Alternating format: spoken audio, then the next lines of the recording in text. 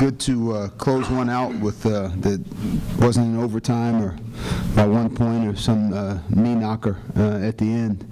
Um, So I thought the guys did a really good job of uh, just setting the tone to start the second half.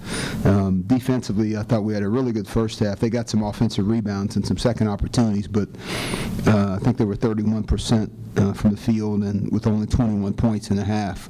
Uh, I thought we did a good job of just not letting them have confidence in the, in the first half. And You know, I was shooting better in, in warm-ups, and I'm, I'm feeling a lot better. Um, I had some chest thing going on on, on Thursday, and, and, and so it was kind of nice to be able to breathe and, and move and get up and down the floor. So, um, you know, once I hit the first two, it, I, I definitely felt like, you know, this could be a big night. Um, especially the way we're playing defense and, and shutting them down in the first half and getting out on the on the break. That's a lot of times when I get my shots is is when we get out on the break. And so, um, yeah, I mean, once you hit a couple, it always feels like you might have a big night.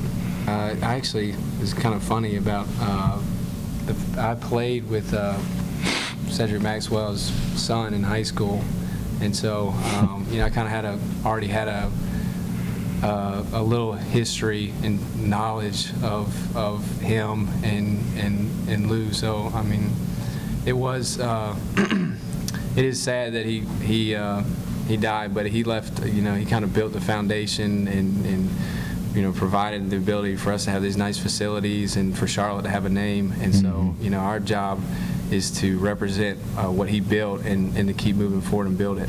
Yeah. You know, we want to continue the trend of how these last two games have gone, especially from a defensive standpoint. I mean, that's just, I can't emphasize how much that's a core uh, thing for us, and we've got to, we've got to stick to that.